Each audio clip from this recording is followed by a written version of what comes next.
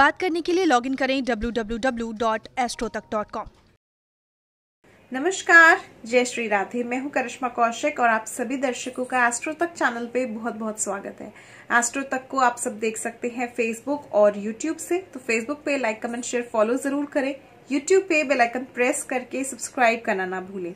वहीं पे आपके मन में किसी भी प्रकार का प्रश्न है तो आप हमसे जुड़ सकते हैं www.astrotak.com पे लॉग ऑन करके यहाँ पर जुड़ करके पूछ सकते हैं प्रश्न कॉल के द्वारा भी और साथ ही साथ अपना प्रश्न आप हमें लिखकर भी भेज सकते हैं। तो आज हम बात करेंगे बहुत ही खास विषय पे। वर्ष 2021 को हम अलविदा कहने वाले हैं और वर्ष 2021 का अंतिम चंद्र ग्रहण भी लगने वाला है। अगर हम डेट की बात करें तो ये जो चंद्र ग्रहण लगेगा, ये लगेगा 19 नवंबर 2021 को। यानी अगर देखा जाए हम तिथि की बात करें तो कार्तिक मास की पूर्णिमा तिथि पर लगेगा वर्ष 2021 का अंतिम चंद्र ग्रहण हालाँकि ये चंद्र ग्रहण जो है, उपछाया चंद्र ग्रहण है। भारत में ये नज़र नहीं आएगा, इसीलिए सूतक काल को मान्यता भी नहीं दी जाएगी। मगर वहीं पे अगर हम बात करें, बारह राशियों की या उन कुछ राशियों की जिसपे इस चंद्र ग्रहण का प्रभाव ज़रूर पड़ेगा, क्योंकि अगर देखा जाए तो चंद्रमा जो होता है, ये मन का कारक होता है। अब जब चंद्र ग्रहण लगता है तो हमारे मन को भी ग्रहण लग जाता है कहीं ना कहीं। इसीलिए हमारा इस दौरान जो है, मन बहुत अधिक विचलित रहता है। राहु के कारण, केतु के कारण हमेशा ग्रहण लगता है। वहीं पे चंद्र ग्रहण जो लगता है, वो पूर्णिमा तिथि पर लगता है। सूर्य ग्रहण जो लगता है, वो अमावस्या तिथि पर लगता है। मगर कारण क्या होता है? राहु और केतु का। राहु, केतु छाया ग्रह होते हैं, जो कि हमेशा उल्टी ही चाल चलते हैं, यानी हमेशा वक्री ही रहते हैं। तो कहीं ना कहीं ये हमारी लाइफ में, हमारे मन में बहुत सारे इल्यूजन्स डाउट्स क्रिएट कर देते हैं, जिसकी वजह से चंद्र ग्रहण के बाद जो है हमें बहुत ज़्यादा नेगेटिव इफ़ेक्ट मिलते हैं। अब कौन कौन सी वो राशियाँ होंगी जिसको इस चंद्र ग्रहण से सावधानी बरतने की ज़रूरत है? और कहीं ना कहीं इस चंद्र ग्रहण का प्रभाव जो है हमारी प्राकृतिक आपदाओं पे भी पड़ेगा। वहीं पे अगर देखा जाए तो राजनीति के क्षेत्र में भी बहुत खलबली आपको देखने को मिल सकती है। कहीं ना कहीं बहुत अधिक विवाद भी आपको देखने को मिल सकते हैं। इसके अलावा अगर देखा जाए तो इस दौरान जो है, कहीं ना कहीं बारिश बहुत एक अगर कहें तो बारिश जो है बहुत ही आपको, क्योंकि मौसम ऐसा है कि इस समय पे बारिश नहीं होती है, मगर वहीं पे कुछ क्षेत्रों में आपको जो है बारिश इस समय पर देखने को मिल सकती है। जिसकी वजह से जो हमारी फ़सल है, उस पर बहुत ही इसका नेगेटिव प्रभाव पड़ेगा। वहीं पे देखा जाए तो कहीं ना कहीं लोग इस चीज़ से चिंतित भी बहुत अधिक रहेंगे। यानी अगर ऑल ओवर देखें तो काफ़ी हद तक राजनीतिक क्षेत्र में इसका प्रभाव पड़ेगा। वहीं पे उथल पुथल आपको देखने को मिल सकती है। वहीं पे इसका प्रभाव जो है हमारी फ़सल पे, हमारे प्रकृति पे काफ़ी हद तक आपको देखने को मिल सकता है। वहीं पे अगर हम लोगों की बात करें, जातकों की बात करें तो इसका प्रभाव आपके मन पे बहुत ज़्यादा पड़ सकता है। क्योंकि अगर देखा जाए, चंद्रमा मन का कारक है। अब मन को जब ग्रहण लगता है तो कहीं ना कहीं हम जो है बहुत ज़्यादा नेगेटिव हो जाते हैं और हमारे मन में जो है बहुत सारे इल्यूजन्स आने शुरू हो जाते हैं। तो लोग जो है इस दौरान नौकरी को लेकर भी काफ़ी हद तक या फिर धन से संबंधित भी परेशानी में रह सकते हैं। तो हम उन राशियों की बात करेंगे जिसको चंद्र ग्रहण लगने से काफ़ी हद तक परेशानियों का सामना करना पड़ सकता है। तो कौन सी वो राशियाँ होंगी जिसपे इस चंद्र ग्रहण का नकारात्मक प्रभाव पड़ेगा, इस विषय पे चर्चा करते हैं। तो सबसे पहले हम बात करेंगे वृश्चिक राशि की, यानी टॉरस की। टॉरस राशि वालों को बहुत अधिक सावधान रहने की ज़रूरत है। इसीलिए सावधान रहने की ज़रूरत है वृषभ राशि के जातकों को, क्योंकि जो चंद्र ग्रहण पड़ रहा है, ये वृषभ राशि में ही पड़ रहा है। यानी टॉरस में ये चंद्र ग्रहण लग रहा है। टॉरस में, यानी वृषभ राशि में इस समय पर चंद्र जो है, स्थित होंगे, विराजमान होंगे।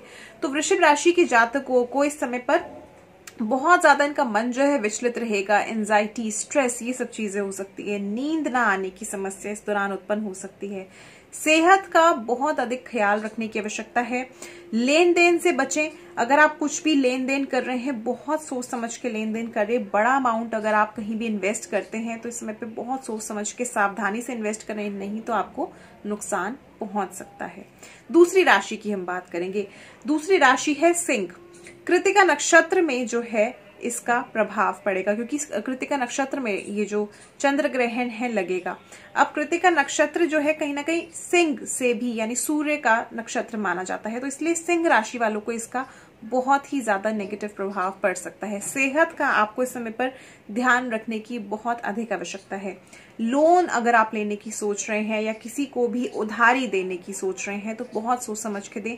पैसा आपका अटक सकता है, फंस सकता है, जिसकी वजह से आपको धन से संबंधित परेशानियाँ उत्पन्न हो सकती हैं, या फिर हम यूँ कह लें कि धन से रिलेटेड आपको मानसिक तनाव बहुत ज़्यादा बढ़ेगा। तो इसलिए इस चीज़ का थोड़ा ध्यान रख करके चले। अगर आप कहीं भी लेन देन कर रहे हैं, पैसा अगर आप इन्वेस्ट कर रहे हैं तो बहुत ही सोच समझ के करें। बात करेंगे अगली राशि की, हम बात करेंगे तुला राशि की। तुला राशि वालों पर भी इसका प्रभाव जो है नेगेटिव पड़ सकता है। स्वास्थ्य का आप लोगों को ध्यान रखने की बहुत अधिक आवश्यकता है। कोई काम अगर बहुत आपका फ्लो में चल रहा है तो इस समय पर आपका ऐसा कोई काम अटक सकता है। तो बिल्कुल पेशेंस से आप अपने काम करते रहिएगा, बिल्कुल पेशेंट लेस मत हो जाइएगा, नहीं तो आपको नुकसान उसमें हो सकता है। पार्टनर के सेहत का ध्यान रखने की बहुत अधिक आवश्यकता है। वहीं पे पार्टनर के साथ किसी भी तरह से विवाद में ना पड़े, इस चीज़ का ध्यान रखें। अगर बहस करते हैं, किसी भी तरह की परेशानी पार्टनर के साथ आपको होती है तो ये जो चीज़ है आपके रिश्ते में समय पर दरार लेकर के आ सकती है। तो इस चीज़ का थोड़ा ध्यान रख करके चले और वार्तालाप जो है अपने पार्टनर से बहुत ही सोच समझ के करें। नियंत्रण रखें अपने ऊपर, आपके लिए यही बेहतर रहेगा। वहीं पे बात करेंगे अगली राशि जिसका प्रभाव नकारात्मक पड़ सकता है इस चंद्र ग्रहण का तो कुंभ राशि की बात करेंगे। किसी पर भी इस समय पर बहुत ज़्यादा विश्वास करके ना चले। भरोसा यदि करेंगे स्पेशली धन से संबंधित अगर आप भरोसा करेंगे तो इससे आपको नुकसान पहुंचेगा। तो इसलिए बहुत अननेसेसरी आप विश्वास करके ना चले, नहीं तो आपको खुद को नुकसान हो सकता है। शत्रुओं से इस समय पर हानि हो सकती है, कहीं भी अगर जाते हैं।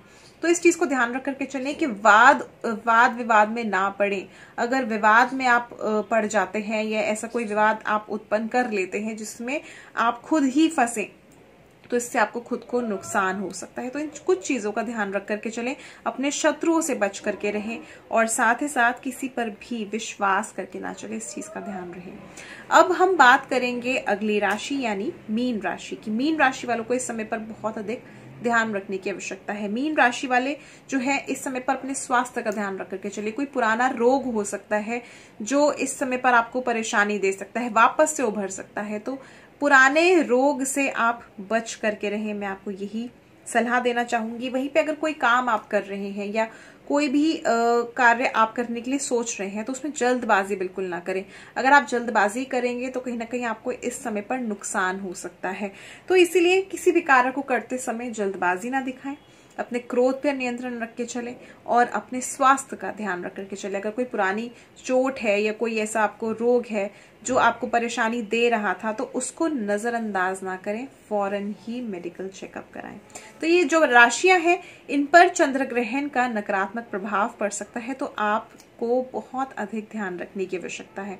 इसके अलावा चंद्रदेव की उपासना ज़रूर करें और साथ ही साथ भगवान शिव की उपासना करना, भगवान शिव के मंत्रों का जप करना, नमः शिवाय मंत्र का जप करना, महामृत्युंजय मंत्र का जप करना बहुत ही लाभकारी साबित होगा। तो और भी ऐसे खास विषय लेकर के आऊँगी मैं केवल एस्ट्रो तक पे। देखते रहिए एस्ट्रो तक और साथ ही साथ फेसबुक यूट्यूब से भी आप एस्ट्रो तक को देख सकते हैं। मुझसे जुड़ने के लिए www.astrotak.com पे लॉग इन ज़रूर करें। फ़िलहाल के लिए मुझे दीजिए इजाज़त। नमस्कार। जय श्री राधे।